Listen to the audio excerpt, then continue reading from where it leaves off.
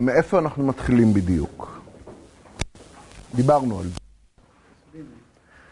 פסוק א' בפרק י"ח שייך עדיין לסיפור מלחמת גוליית. ויהי ככלתו לדבר אל שאול, ונפש יהונתן נקשרה בנפש דוד, ויהבהו יהונתן כנפשו. ככלותו לדבר אל שאול, הכוונה לאותו דו-שיח אה, מופלא, בעייתי, שבו שאול שואל את דוד, בן מי אתה אלם? בן מי אתה הנער? והוא עונה לו, בן עבדך ישי בית הלחמי. יונתן היה מצוי באותו מקום בשעה זו ושמע את הדו-שיח הזה, ונפשו נקשרה בנפש דוד. הפסוק הבא, פסוק ב', ויקחהו שאול ביום ההוא ולא נתנו לשוב בית אביו. תזכירו לי, מה הכוונה בו?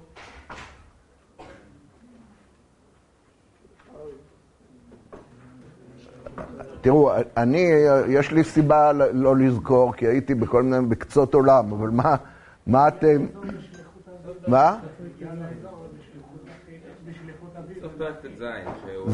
זה הפסוק שמכניס את פרק ט"ז, זה בעצם פסוק של העורך. העורך מכניס בפסוק הזה, מזכיר לנו מה נכנס פה. וביום ההוא הכוונה, ביום ההוא שדוד הופיע כמנגן, או מאוחר יותר, באותו יום שבו שאול שלח לאביו של דוד, יעמוד נא דוד לפניי כי מצא חן בעיניי. ועכשיו מתחיל הסיפור. איזה סיפור? המשך, סיפור המשך. המשך למה? המשך למה? בעצם גם לסיפור, גם לסיפור, אה, אה, לסיפור שהיה במקור פה ממש, סיפור הופעתו של דוד כמנגן, אבל גם לסיפור מלחמת גוליית. ובאמת אנחנו מיד נראה שהסיפור של פרק י"ח מהווה המשך גם לזה וגם לזה.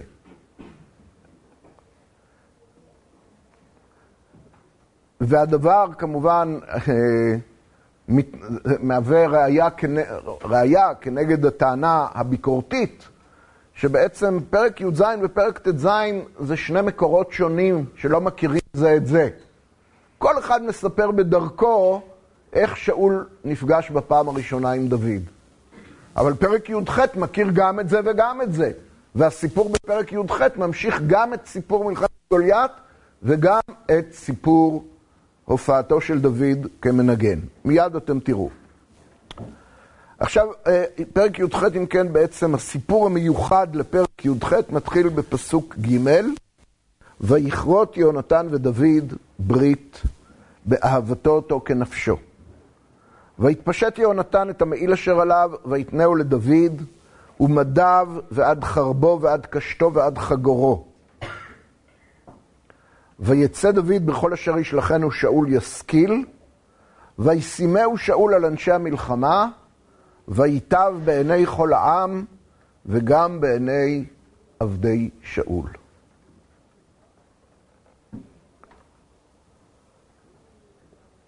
טוב, אה, אה, למה יונתן כורת ברית עם דוד רק עכשיו ולא אז, כשהוא שמע את הדו-שיח בינו לבין אביו ונפשו נקשרה בנפשו, למה הוא, למה הוא לא כרת אז את הברית? הרי לפי מה שיוצא, הוא כרת את הברית זמן רב אחר כך.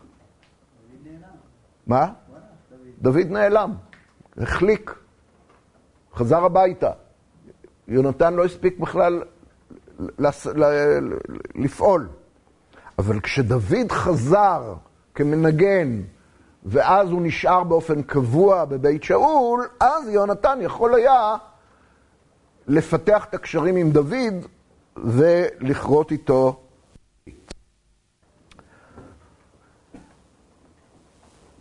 בברית הזאת שבין דוד ויונתן יש רמז מטרים. מכירים את הביטוי רמז מטרים? ביטוי של מורים לספרות. אבל גם מורים לתנ"ך רשאים להשתמש בו. רמז מטרים פירושו של דבר שבעלילה מופיע משהו שאת... לקבל פיתוח בהמשך. את זה אנחנו יודעים, לא בהכרח הגיבור יודע את הדבר הזה. אז רמז מטרים למה? מה בעצם, אה, כן, תגידו אתם, אתם בהכירכם את ספר שמואל? יונתן. יונתן הוא יורש העצר. הוא הבן הבכור של שאול, יורש העצר. והוא לכאורה אמור למלוך אחרי שאול. אבל יונתן עתיד להודיע לדוד שהוא מוותר על המלוכה, והוא יודע שדוד ראוי למלוכה, והוא יהיה לו למשנה. יונתן אומר על עצמו, ואני אהיה לך למשנה. לא זכה יונתן להיות משנה לדוד, מכיוון שהוא נהרג במלחמת הגלבוע, במלחמה נגד הפלישתים, אבל הוא ויתר על, על המלוכה, ונדמה לי שחז"ל אומרים על יונתן שהוא אחד מענבי עולם. אדם שבעצם הוא ראוי למלוך מבחינת הסדרים החברתיים, והוא מוותר על מעמדו, מוותר על ירושתו, ויודע שדוד ראוי יותר ממנו, ולכן דוד יהיה מלך. אה, את כל הדברים האלה, כבר עכשיו, ממש בקשר הראשון ביניהם, יונתן בעצם מבטא, בלי לדעת שהוא מבטא את זה.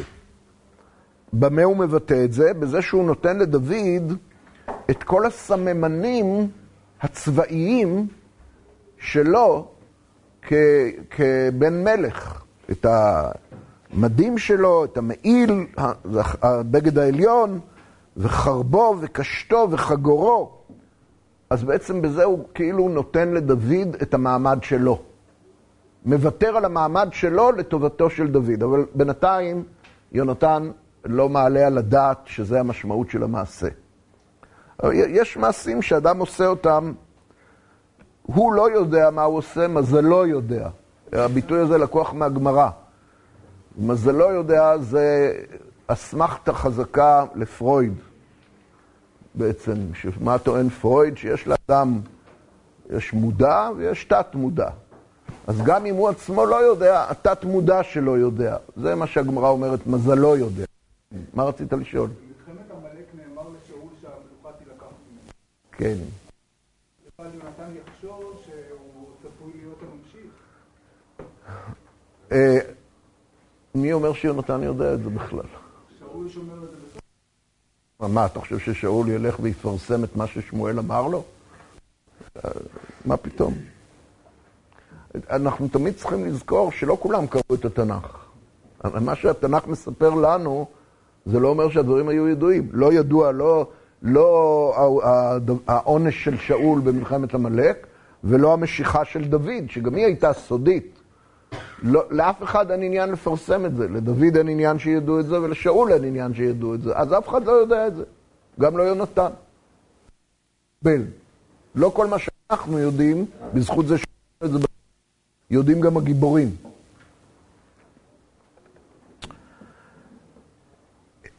בפסוק ה'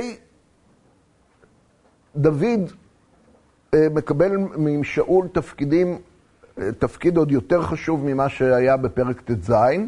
בפרק ט"ז הוא היה נושא חייו של שאול, משהו כמו רל"ש בערך, או משרת אישי, ואילו פה כבר, מכיוון שהוא, יש לו רזומה גם של מי שניצח את גוליית, אז שאול שם אותו על אנשי המלחמה.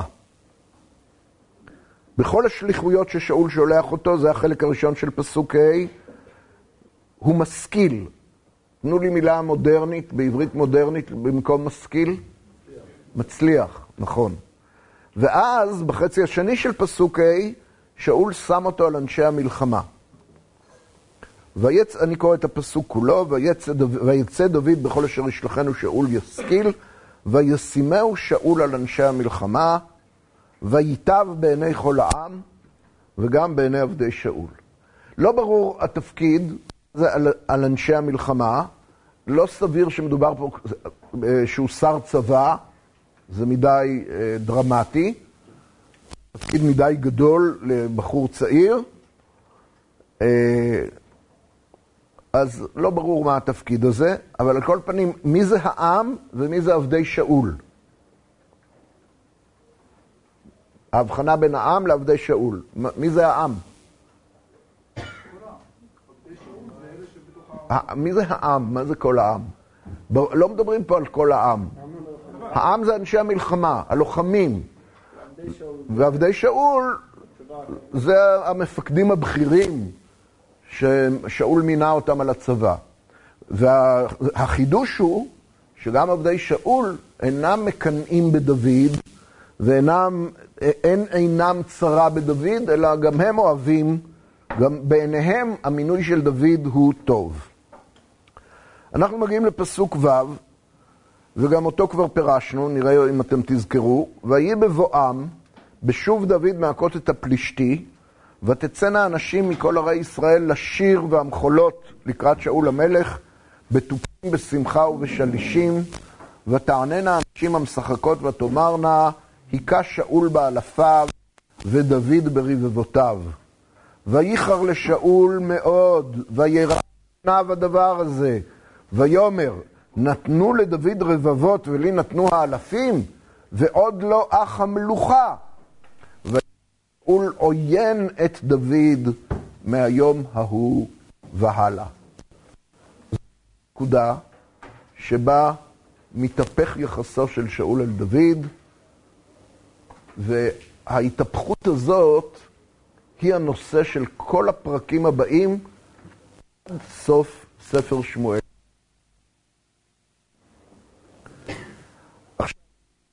אה, מהכות את הפלישתי שהכנה זה היה מזמן, ואחרי מלחמת גוליית, מה קרה? דוד הלך הביתה, לא, קיבל, לא היה שותף לקבלות פנים. אז לכן פירשנו, מה, מה, איך פירשנו מהכות את הפלישתי? את, כן. דוד, כמי שממונה על אנשי המלחמה, מפקד על פעולות שונות נגד העם הפלישתי, ובאחת מהפעמים הוא ושאול חוזרים משדה הקרב, ואנשים מקבלות את פניהם בשירה, היכה שאול באלפיו ודוד ברבבותיו. אגב, יש לזה מנגינה, אני לא יודע אם אתם מכירים. מכירים? זה משהו ישן מאוד, אבל יש לזה מנגינה. לא, לא, המנגינה מודרנית, לא מנגינה מאז. אה, עכשיו ככה, שירת הנשים מוזכרת עוד פעמיים, אני אמרתי את זה, נכון שאמרתי? ושם זה לא קשור בכלל למלחמת גוליית באמת.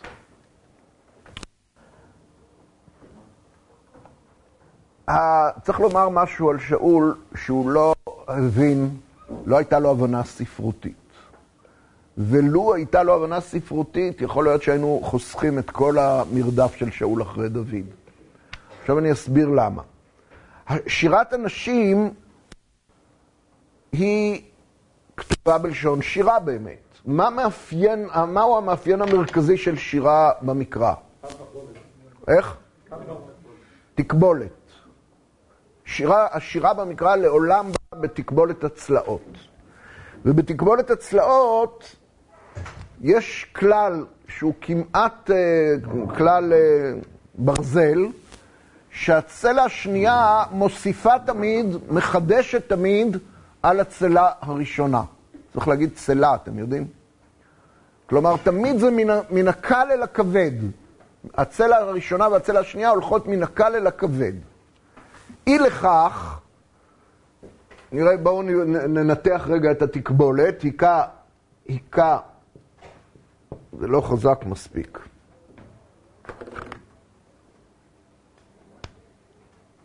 זה נמחק? אני מקווה. היכה שאול באלפיו, ודוד ברבבותיו. זו תקבולת חסרה, כי המילה היכה שייכת גם לצלה השנייה. שאול מקביל לדוד, ואלפיו מקביל לרבבותיו. תקבולת פשוטה. עכשיו, זה חייב להיות ככה, מכיוון שאמרנו שבשירת המקרא, הצלה השנייה תמיד מחדשת משהו על הצלה הראשונה. מה האלטרנטיבה, אם רוצים ש, ששאול יקבל את הרבבות? להחליף את השמות. אז נניח שהיה כתוב, היכה דוד באלפיו ושאול ברבבותיו, גם זה היה, לא היה מוצא, היה עוד יותר לא מוצא חן בעיני שאול. מה, שמו את דוד לפניי ולא אח המלוכה? אז אי אפשר לצאת ידי חובה. הטענה של שאול היא לא טענה, נתנו לדוד רבבות ולי נתנו אלפים בגלל שאלה חוקי התקבולת המקראית. לא מתוך שום כוונה לתת לדוד יותר כבוד מאשר לשאול. סתם הוא מתמרמר. נכון, שמו את שאול ראשון כי הוא מלך, אבל בהכרח, איפה אנחנו מוצאים תקבולת?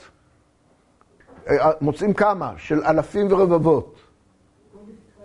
יפול מצדך אלף, ורבבה מימיניך, אליך לא ייגש. זה תקבולת חייסתית. אבל לא, זה לא משנה, מבחינת... קודם, תמיד קודם באים אלפים ואחר כך רבבות. ויש עוד, עוד פסוקים במקרא. יש לפחות פעם שזה קודם רבבות ואחר כך אלפים. איפה? והם רבבות אפרים והם אלפי מנשה. קושייה? צריך ל... אפשר שזה משהו אה, קשור לפרשה שלנו, אה, ש... אה, היה... יותר. זה נכון, זה נכון, אבל למה- לא, אפשר היה לפתור. בקיצור, יש, הנה קושייה על, על דבריי, אני צריך לחשוב על זה, לא, לא שמתי לב. בקיצור, אין, ל- אין, אה, אין לשאול טענה אמיתית. אבל לא משנה, הוא לא צריך טענה אמיתית. אני אגיד לכם למה. כי שירת הנשים זה רק טריגר, מילה אחרת לטריגר, איך? זרז. למשהו עמוק ששאול מרגיש והוא לא צריך שיגידו את זה. שדוד הוא אה, מטאור בשמי ישראל, שהוא עולה עליו בכל התכונות הנחוצות למלך, וכאן הוא אומר את זה במילים מפורשות, ועוד לא אח המלוכה. בפעם הראשונה שיוצא מפיו ההכרה שלדוד, הוא אומר את זה אמנם בטרוניה, ועוד לא אח המלוכה, כן, המלוכה תגיע לדוד. ליבה לפומה לא גליה, אבל שאול יודע את זה מתוכו, ושירת הנשים היא רק זרז לעניין הזה. עכשיו, כתוצאה, על כל פנים, שירת הנשים היא הזרז שאול עוין את דוד מהיום ההוא והלאה. מה זה עוין? מה? בעברית החדשה עוין זה מבקש רעתו של מישהו. אבל זו פרשנות שמבוססת על ההקשר. באמת, המילה עוין מופיעה בתנ"ך רק פה, איננה מופיעה יותר. ומאיזה שורש היא באה? מאיזה... מה? עוון. פרימיטיב, מה? נכון, אבל מה- מה העוון שייך לכך? מעיין, נכון, בלשון חכמים, המילה הכי דומה לעוין זה מעיין. ומאיזה מילה זה בא? עין. מעיין זה נותן עין בדבר. עוין שוב קשור באיזושהי צורה לעין. אז יש מפרשים נותן עינו לרעה בדוד, ויש מפרשים עוקב אחרי דוד. חושד בו. על כל פנים, עוין בא מאין. טוב, אנחנו רואים את פסוק י' ויהי ממחרת, ותצלח רוח אלוהים רעה אל שאול, ויתנבא, זה מה שהבטחתי לכם שמה? שאנחנו רואים שהיה את ה... המשך של פרק ט"ז, זה מתייחס לפרק ט"ז, ויתנבא בתוך הבית, ויתנבא, אגב, מה פירושו? להתנבא במקרא איננו לקבל נבואה מאת השם. האם ידעתם זאת? להתנבא, בהתפעל, בבניין התפעל, פירושו להיכנס לאיזושהי אקסטזה, שלעיתים אקסטזה באמת אה, דתית משובחת, כמו שהיה לשאול כשהוא התנבא. מתי הוא התנבא בפעם הראשונה? כשאמרו אגם שאול בנביאים בפעם הראשונה, מתי זה היה? עם חבל נביאים בגבעה, הצטרף לנביאים שגם הם מתנבאים, לא מנבאים, אלא מתנבאים, ויש לפעמים שהאקסטזה הזאת היא שגעונית, כמו שיהיה להלן בפרק י"ט עם שלוחיו של שאול ועם שאול בעצמו, כשהם יבואו אל ניות ברמה, אוטוטוט אנחנו מגיעים לשם, לא היום. אז גם פה להתנבא, הכוונה אקס, אקסטזה שלילית. מאיפה אני לוקח שלילית? כי כתוב רוח אלוהים רעה. ותלך רוח אלוהים רעה אל שאול והתנבא בתוך הבית, ודוד מנגן בידו כיום ביום. מה הכוונה כיום ביום? כרגיל, כפעם בפעם, לא כל יום, והחנית ביד שאול. ויעט אל שאול את החנית ויאמר אכה בדוד ובקיר, ויסוב דוד מפניו פעמיים. וירא שאול מלפני דוד, כי היה אדוני עמו, ומעם שאול שר.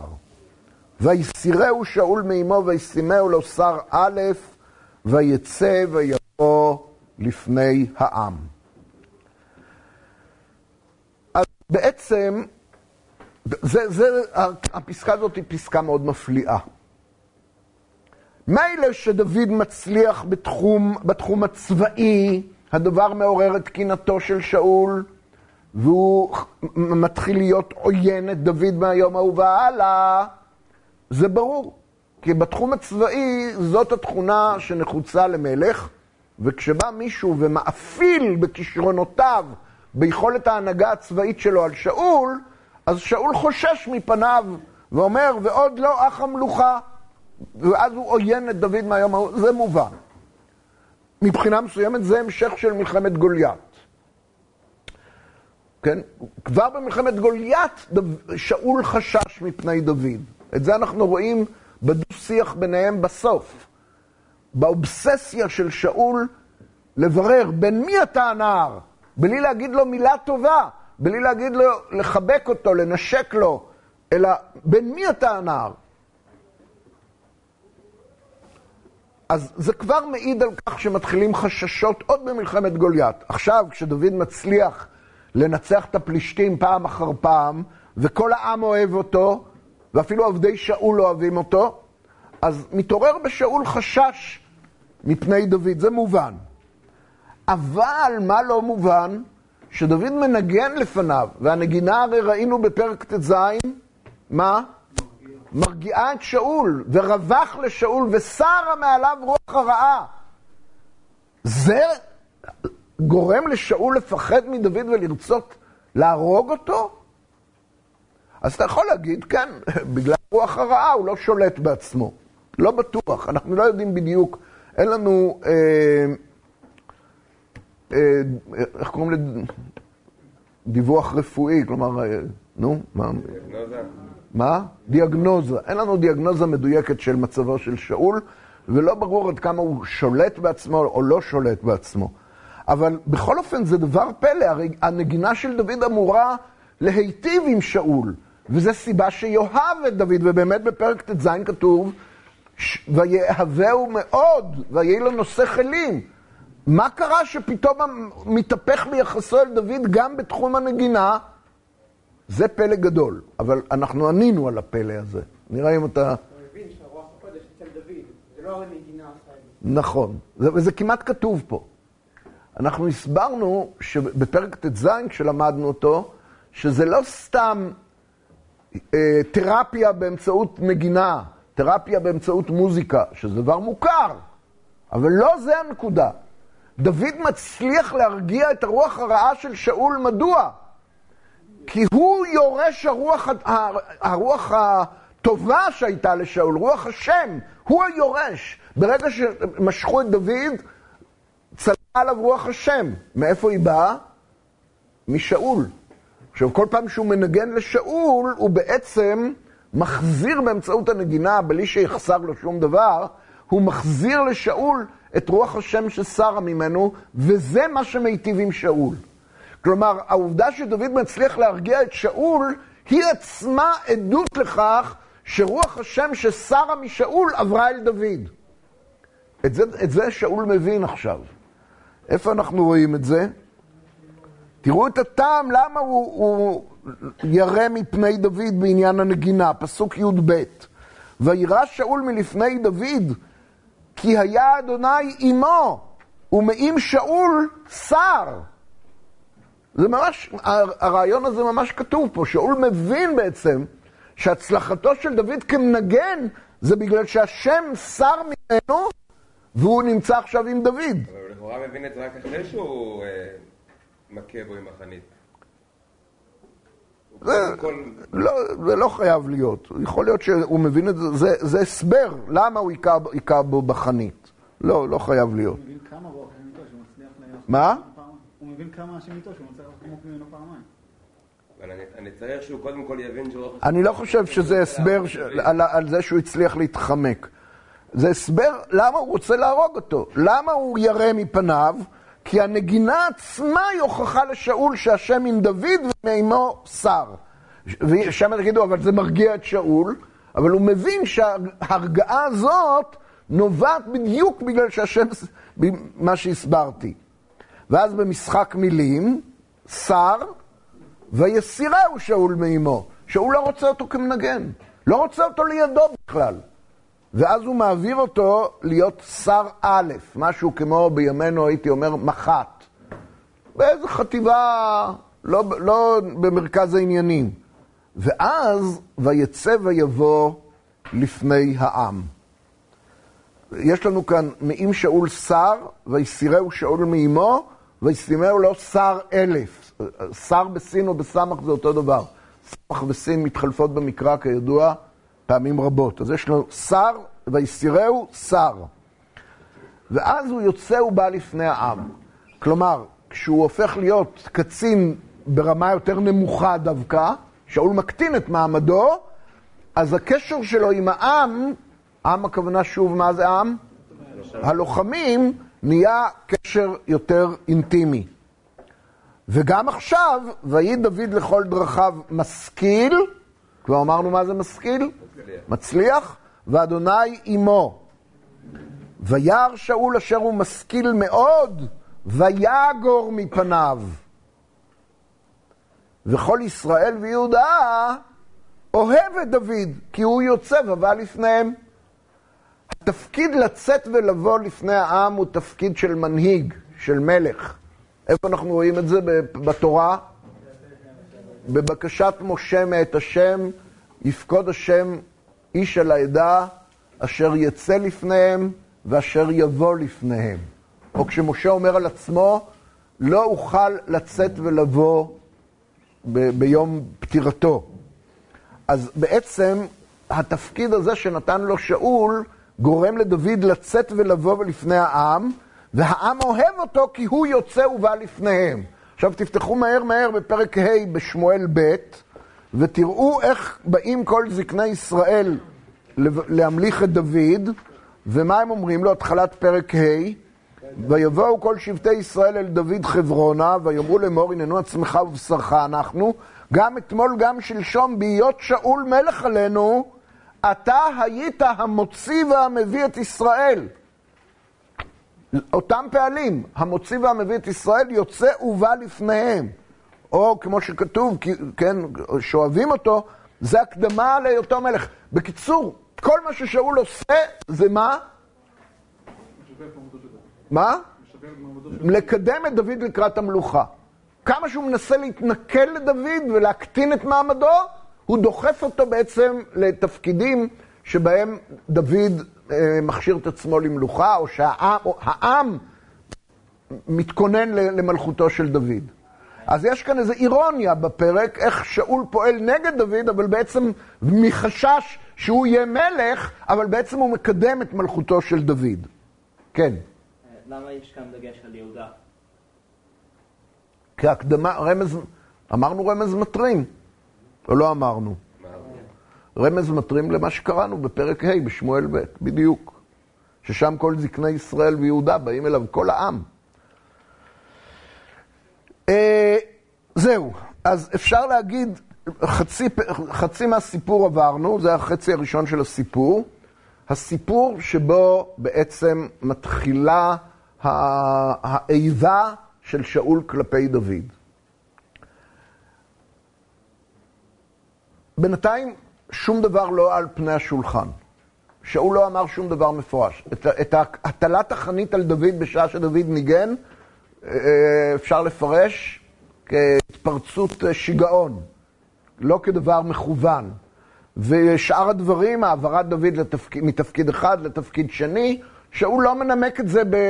גם מה שהוא אומר על שירת הנשים, וייחר לשאול מאוד וירד, ויאמר נתנו, ויאמר זה לא במילים מפורשות. זה מה שהוא אומר בליבו. כלומר, אף אחד לא יודע בעצם, מה? ששאול שינה את יחסו לדוד והוא מתחיל לדחוק את רגליו. איש לא יודע את הדבר הזה, זה לא על פני השטח. אנחנו יודעים את זה. עוד מעט זה יצא החוצה. אבל בינתיים זה הכל מתחת לפני השטח. כאן צריך לשאול אולי שאלה חמורה ביותר. אני שואל את השאלה הזאת עכשיו, כי לא נזכור לשאול אותה בעוד כמה חודשים כשנגיע לסוף שמואל א'. הקדוש ברוך הוא שלח את שמואל למשוח את דוד, הוא משך אותו. מיד אחרי המשיכה דוד מופיע כמנגן בביתו של שאול והופך להיות נושא חיליו של המלך.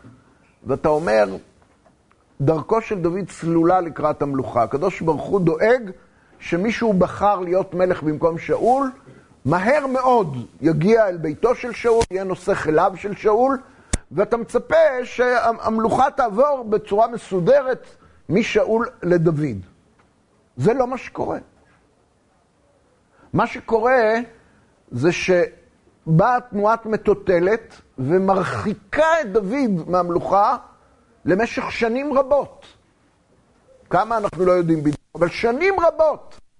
שדוד, לא רק שהוא עוזב את בית שאול ובורח ממנו, עוד מעט נקרא, לא עכשיו, אבל בעוד לא הרבה זמן נגיע לבריחתו של דוד מפני שאול, ושאול רודף אחריו ורוצה להורגו, ודוד מבלה שנים בבריחה מתמדת מפני שאול, ומתרחק מהמלוכה עוד ועוד, עד שחז"ל קראו על דוד, על השנים האלה שדוד ברח מפני שאול, תוחלת, תוחלת ממושכה מחלה לב, פסוק בספר משלי. התוחלת למלוכה היא ממושכה מאוד, מכאיבה את הלב. למה? למה מה שהיה נראה לנו בהתחלה, שבעקבות משיכתו של דוד, דוד מגיע לבית שאול, הופך להיות נושא חיליו, מתקרב, מקבל תפקידים, מצליח בהם, העם אוהב אותו, זה נראה כאילו אנחנו, אוטוטו דוד הופך להיות מלך. מה התשובה? זאת שאלה גדולה. והמפרשים לא שואלים את השאלה הזאת, כי, הם, כי זה לא מסוג השאלות שהמפרשים מטפלים בהן. אבל אנחנו שואלים, על מי השאלה? מי הכתובת לשאלה? לכאורה. הקדוש ברוך הוא, השגחת השם. למה הקדוש ברוך הוא... היה נראה לנו שהשם באמת מוביל את הדברים במסלול הישיר והמהיר שבו תתחלף המלוכה של שאול ודוד יתפוס את מקומו של שאול, או יירש את מקומו, או לא יודע מה. זה בדיוק הפוך. דוד הולך ומתרחק מהמלוכה. והיחסים בין שאול לדוד הופכים להיות יחסי איבה. כן.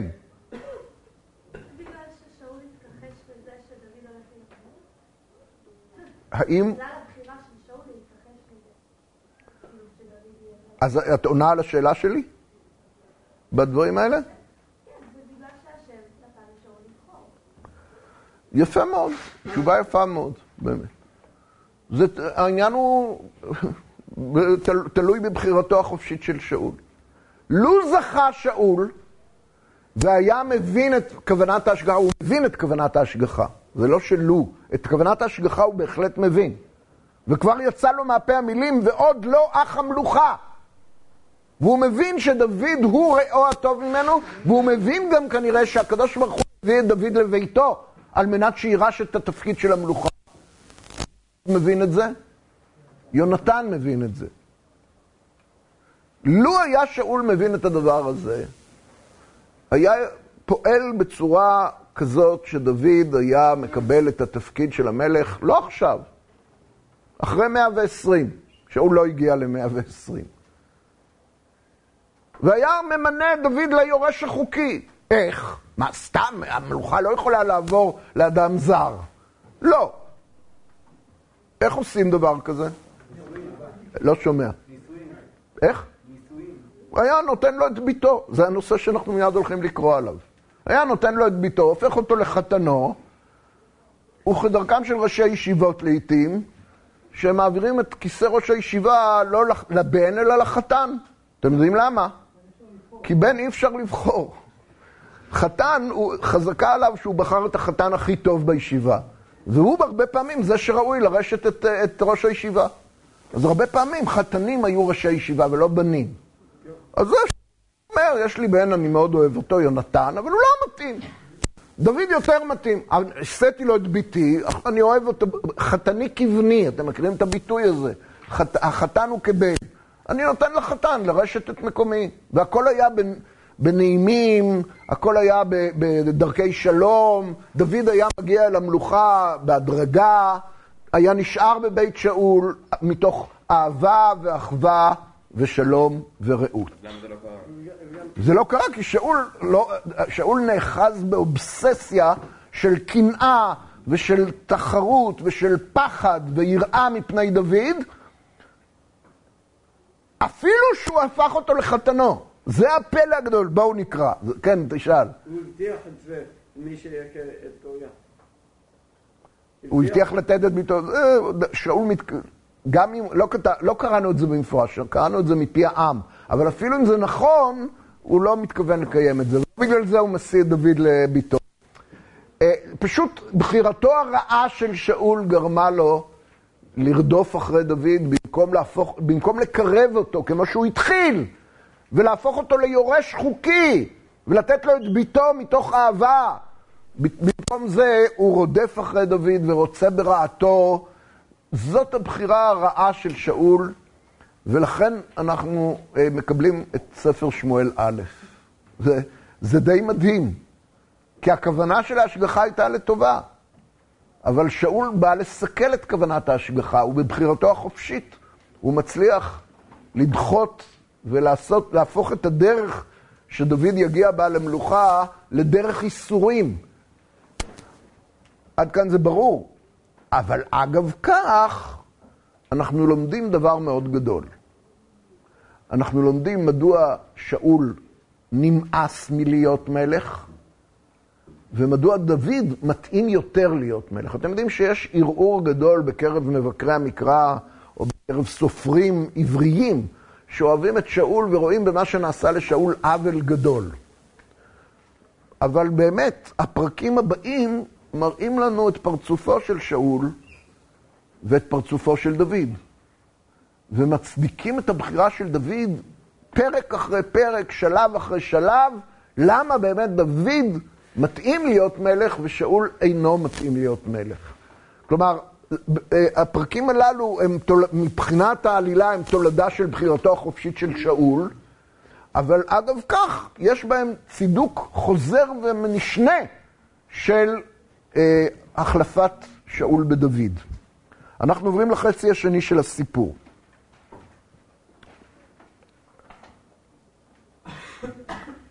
ויאמר שאול אל דוד, פסוק י"ז, הנה ביתי הגדולה מרב, אותה אתן לך לאישה. אך אהיה לי לבן חיל וילחם מלחמות אדוני. ושאול אמר, אל תהי ידי בו, ותהי בו יד, פלישת, יד פלישתים. נ, נ, נסביר. מרב היא בתו הגדולה של שאול, מה? הוא לא בדיוק מוכן להקריב, אז באמת אה, זה מוגזם. הוא אומר, תנאי לקבלת מירב זה שתהיה בן חיל ותילחם מלחמות השם. נגד מי מלחמות השם כמובן? נגד הפלישתים. עכשיו, ושאול אמר, באיזה זמן זה מנוסח? איך קוראים לזמן הזה? איך? עבר מוקדם, אבל יש לזה שם בעברית, past perfect. כן? לא כתוב ויאמר שאול, אלא שאול אמר. מה הכוונה? כשהוא אמר לדוד, אני אתן לך את מירב, אבל תילחם מלחמות השם, אז הוא אמר, ואמר פה פירושו כמובן מה? בליבו. אל תהי ידי בו, תהי בו יד פלישתים. התנה את קבלת מירב בזה שהוא יילחם, כנראה יעשה, יבצע פעולות צבאיות מסוכנות, ואז תהיה בו יד פלישתים, ואז אני לא אצטרך לתת לו את מירב, כי הוא ימות במלחמה. ויאמר דוד אל שאול, מי אנוכי ומי חיי משפחת אבי בישראל כי אהיה חתן למלך, למלך. ויהי בעת ט' את מירב בת שאול לדוד, והיא ניתנה לאדריאל המחולתי לאישה. טוב, הפסוקים האלה צריכים פרשנות. קודם כל, דוד מסרב מתוך ענווה ומתוך הכרה בזה שהוא איננו ראוי להיות חתן למלך. האם הוא, הוא באמת חושב ככה? או האם הוא מרגיש שזה רק, מרגיש שזה לא עצה כנה, זה לא, לא, לא, לא, שש, לא הצעה כנה מצידו של שאול, אני לא יודע. אבל הדברים שהוא אומר זה ביטוי קלאסי לענווה. מי אנוכי ומי? מה זה מי חיי? זה לא עברית. מי בא על, על אישיות? חיי זה מושג מופשט. אז מה היה צריך להגיד? מי אנוכי? מחיי. משהו כזה. מה זה מי אנוכי ומי חיי? ומה זה משפחת אבי בישראל? הפסוק הזה לא, לא ניתן כמעט להתפרש. אז בפרשנות המודרנית, החל אני חושב ממשה צבי סגל שכתב פירוש של ספר שמואל ב-1913 כבר, אז הוא שם לב לדבר הזה, ואחריו פרשנים נוספים, שהמילה חי בערבית, גם בערבית המדוברת בימינו, פירושה קבוצה של בתי אב קרובים, מה שאנחנו קוראים גם, אני חושב בערבית, חמולה. כלומר, כמה בתי אב שמהווים תת שבט. בתוך השבט הגדול חיים יחדיו, באותו, באותה נחלה, באותו כפר, באות, על אותה אדמה, כמה בתי אב, והצירוף הזה של כמה בתי אב הוא חי בערבית. ועל פי הערבית רצו לפרש פה ובעוד כמה פסוקים בתנ"ך. אז מה פירוש מי אנוכי ומי... הניקוד צריך להיות כנראה ומי חיי. לא מי חיי, אלא מי חיי. מי... עכשיו, מה זה המילים משפחת... אה, המילים אה, משפחת אבי? מה? זה הפרשנות שהתנ"ך מפרש מונח שהוא חושש שאתה לא תבין. זה נושא רחב, אנחנו לא נוכל להרחיב בו. הרבה פעמים בתנ"ך אנחנו מוצאים פרשנות פנים-תנ"כית למונחים נדירים. מי אנוכי, הופה, מה קרה? מי אנוכי ומי חיי, כך צריך יהיה לנקד לפי זה, החי שלי. מה זה חיי? משפחת אבי,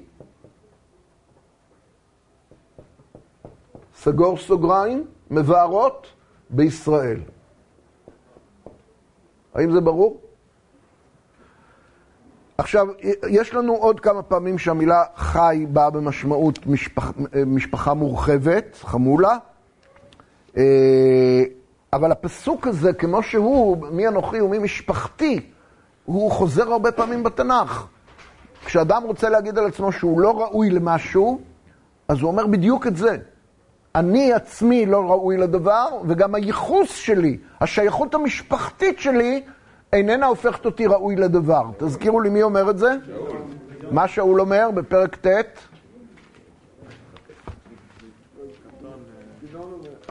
מה שאול אומר? רגע, הוא אמר שאול, נראה, שמואל א' פרק ט', וואה, כל כך הרבה, אני נתתי לך את הפרק. הלא בן ימיני אנוכי מקטני שבטי ישראל ומשפחתי אצלם מכל שבטי ימין, ולמה דיברת אליי כדבר הזה? אז שם הוא מדבר רק על המשפחה, שהמשפחה, אה, היא לא ראויה ולכן הוא לא ראוי להיבחר. עוד? גדעון. גדעון, מה גדעון אומר? הנה אנוכי, על פי, על פי, מה זה על פי? אלף זה גם משפחה. אלף.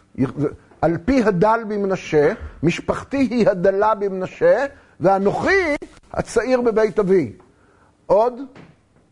המקום הכי קרוב זה שמואל ב' פרק ז', שדוד בעצמו אומר את זה לנתן הנביא, אחרי שנתן אה, מבטיח לו ברית שתמיד המלך יהיה מזרעו, ואז הוא אומר, פסוק י"ח, פרק ז', פסוק י"ח, מי, מי אנוכי השם אלוהים ומי ביתי כי אביותני עד הלום. מי אנוכי ומי ביתי זה בדיוק זה. מי אנוכי ומי חיי.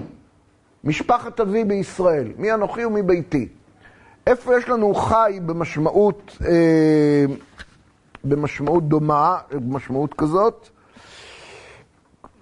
טוב, זה הכל השערות. אה, כשדוד מגיע, דוד שולח את אנשיו לנבל הכרמלי, הוא אומר להם לברך אותו כה לחי. מאיפה אתם מכירים את הביטוי כה לחי? לא מהתנ"ך, הרי אתם לא זוכרים את הפרק על נבל הכרמלי, אלא מהשיר ואמרתם כה לחי, רבי שמעון בר יוחאי. אז זה לא המקור, המקור הוא בתנ"ך. מה פירוש הברכה כה לחי?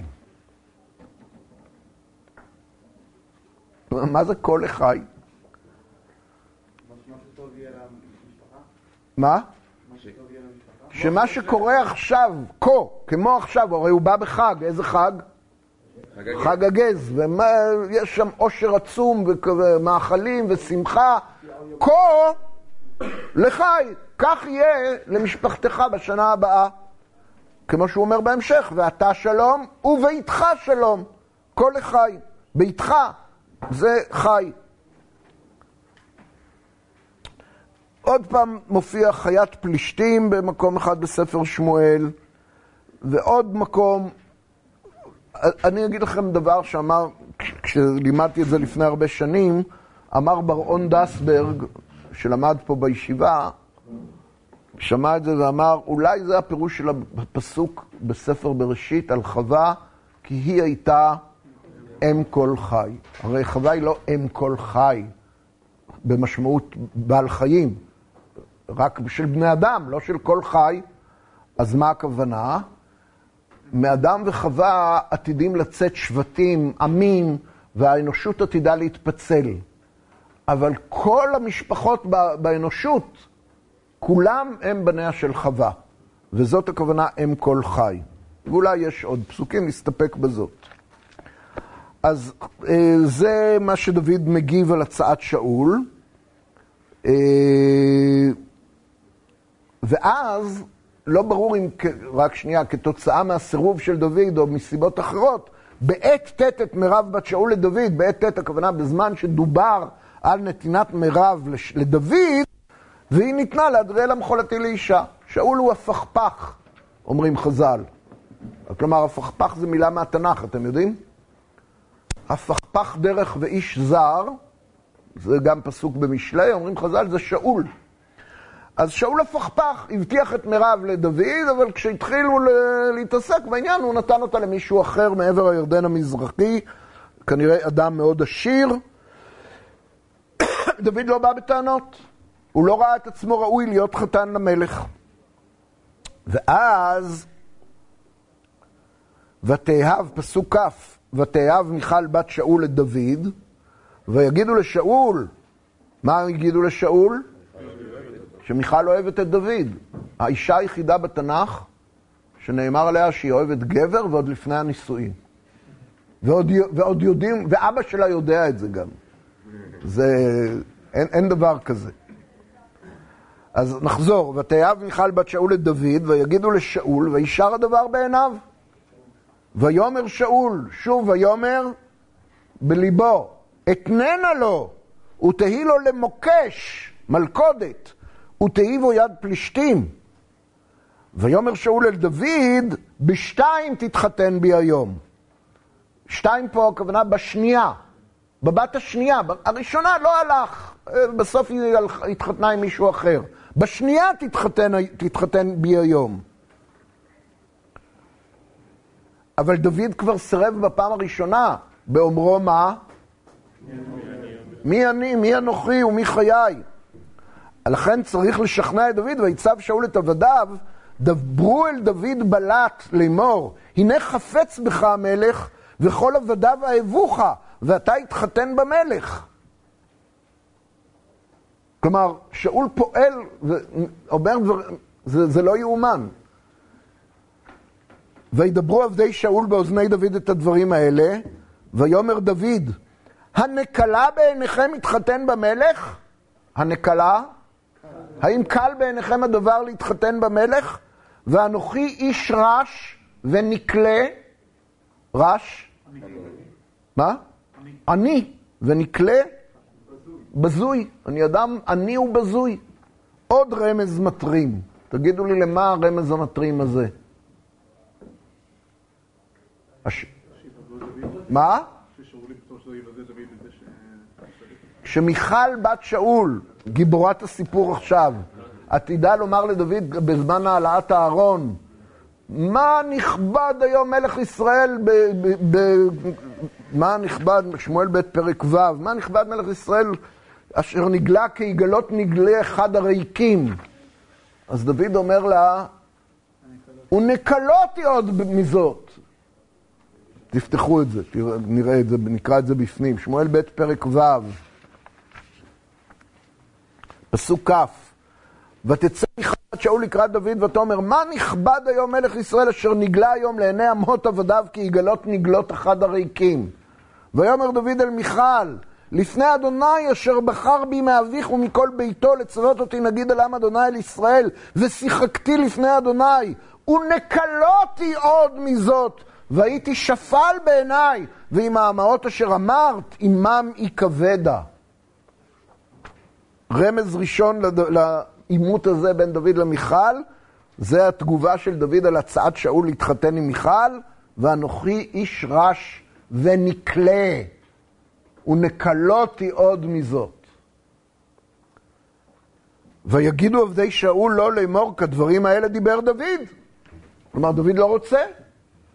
זה שהמלך אוהב אותו, במרכאות, זה מה ששאול אמר להגיד.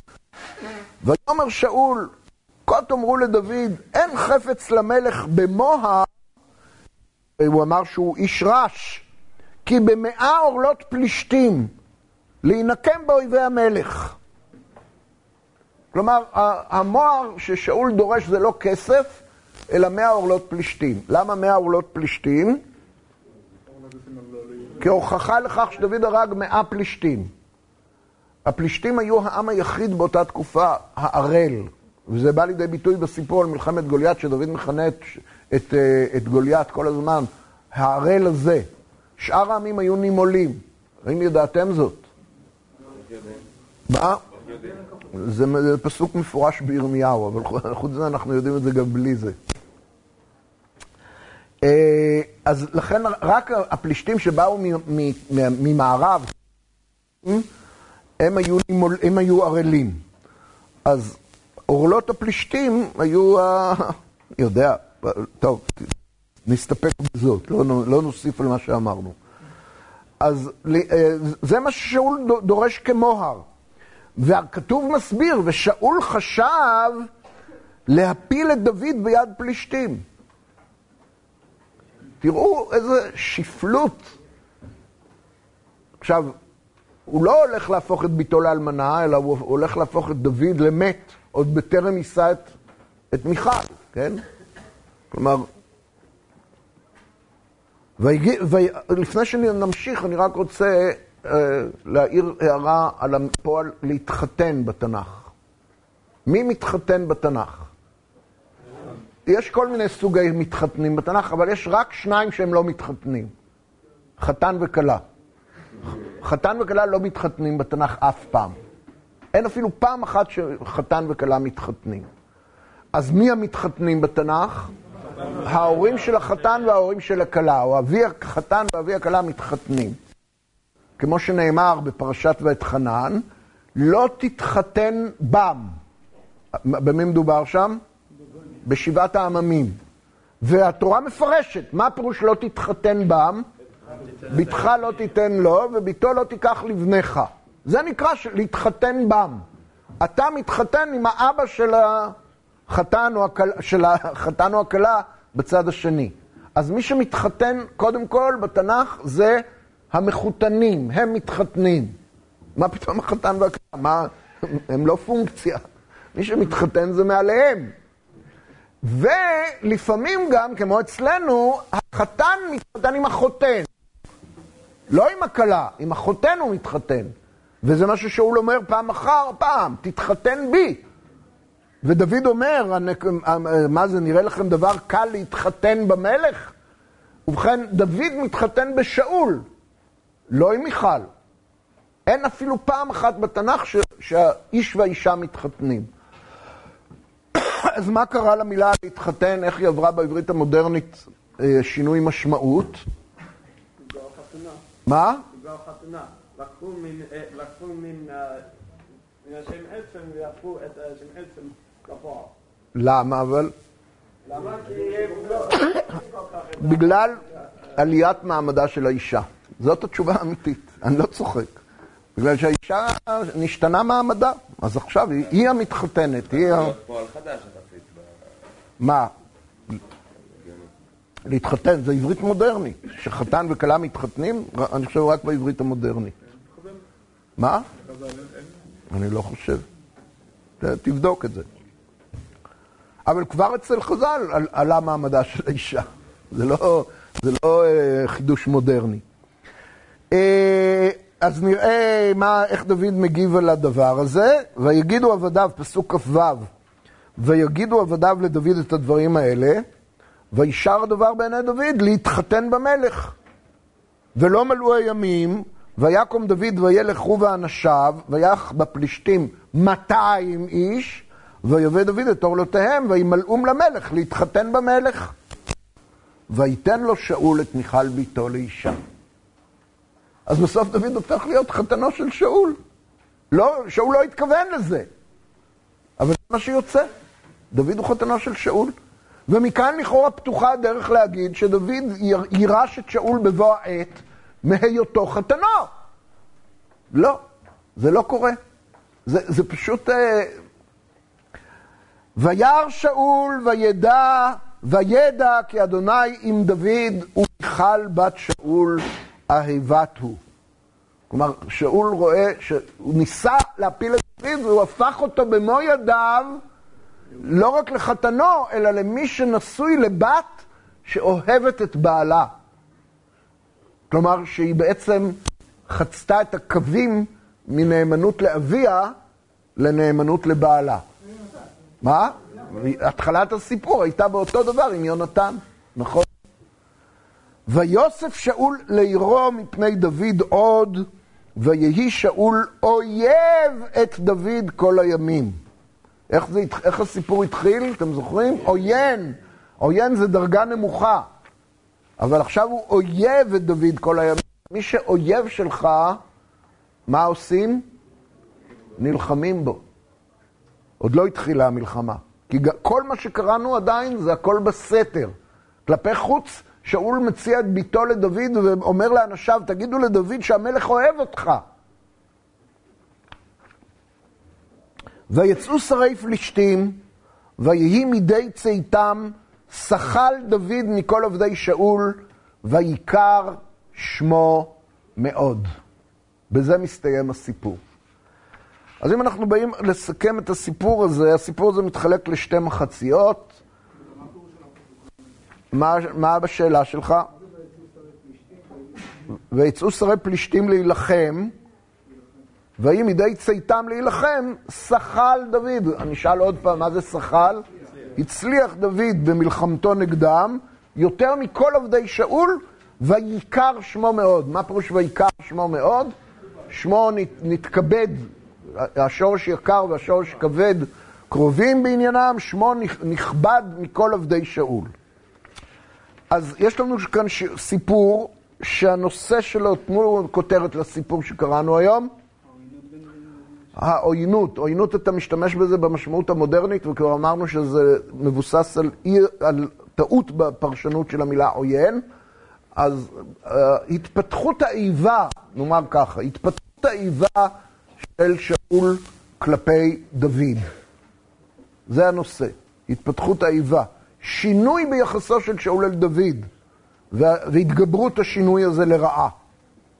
זה הנושא של הפרק, והוא מתחלק לשתי מחציות. במחצית הראשונה, שאול מנסה להתנכל לדוד בדרכים שונות מבחינת מעמדו של דוד בבית, בבית שאול, ובחצי השני מתנכל לו מה? לא יאומן? נישואים, באמצעות הצעת נישואים לבנותיו. זאת הדרך שהוא מנסה להתנקש בדוד. עכשיו, מה שהפרק הזה אומר, שכל מה ששאול עשה, התהפך, מבחינתו, התהפך לטובה. למה? כי כשהוא שינה לו את התפקיד, דוד הצליח בתפקיד וזה דווקא חיזק אותו לקראת המלוכה. כל מה שהוא עושה, כל מה שהוא עושה בעצם מתהפך מכוונתו של שאול לטובתו של דוד. וזה שהוא נותן לו את ביתו לאישה, אז מה זה? אז הוא הופך אותו לחתן המלך ונותן לו בת שאוהבת את דוד לפני הנישואים ואוהבת את דוד גם אחרי הנישואים, זה גם חידוש, כן? ובעצם בנו הבכור ובתו הצעירה, בנו הבכור של שאול מכיר בדוד ומוסר בידיו, מוסר לו את נאמנותו בהתחלת הסיפור, ובתו של דוד, אה, של שאול, נישאת לדוד ואוהבת אותו, ושני האנשים האלה הכי קרובים לשאול, בנו הבכור ובתו הצעירה, עתידים בפ... כבר בסיפור הבא לפעול נגד שאול ולטובתו של דוד. כלומר, שאול שתל פה בעצם, בסיפור הזה נשתלו הזרעים לכך שבני המשפחה הכי קרובים לשאול יפעלו לטובתו של דוד ולהצלתו מיד שאול. זה יהיה הנושא של הסיפור בשבוע הבא. תבואו, זה מאוד מעניין.